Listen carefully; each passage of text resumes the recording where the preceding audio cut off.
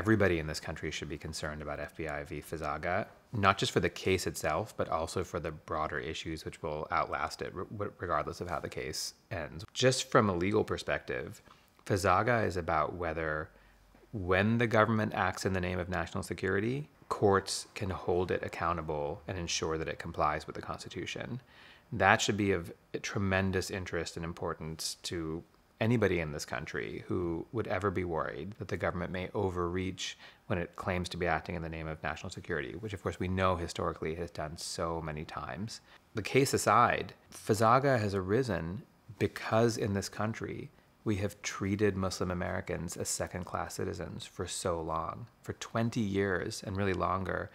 And the issues that arose in Fazaga would never have arisen if we weren't talking about people who practice Islam.